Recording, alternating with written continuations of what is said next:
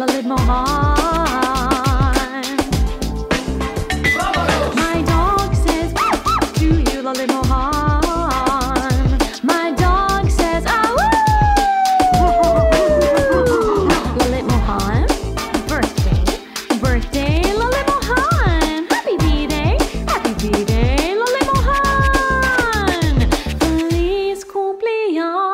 yours, Lalil Mohan, yeah.